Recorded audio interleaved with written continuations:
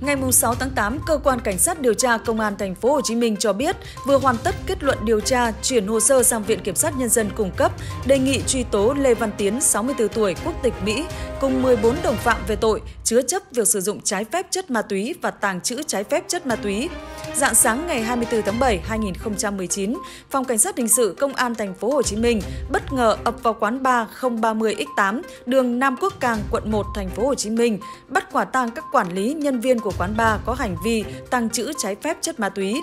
Quán bar được mệnh danh đẹp nhất thành phố Hồ Chí Minh do TCXK 33 tuổi, ngụ quận Bình Thạnh đứng tên giấy phép kinh doanh, Lê Văn Tiến làm chủ và Trần Bá Hạnh là tổng quản lý, chịu trách nhiệm chung mọi hoạt động của quán. Qua hoạt động, hiểu được tâm lý của khách muốn sử dụng ma túy tại vũ trường, Tiến thường xuyên họp triển khai cho Trần Bá Hạnh và nhân viên chăm sóc khách hàng về việc nghiêm cấm nhân viên bán ma túy cho khách. Còn việc khách tự ý mang ma túy vào chơi thì phải nhắc khách sử dụng kín đáo, không sử dụng công khai, không để ma túy trên bàn.